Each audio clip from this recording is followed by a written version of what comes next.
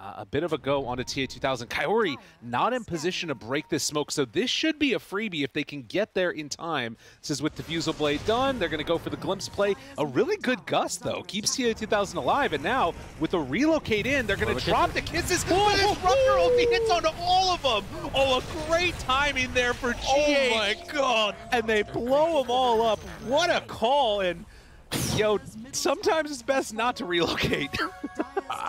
That was just filth. I, I mean, every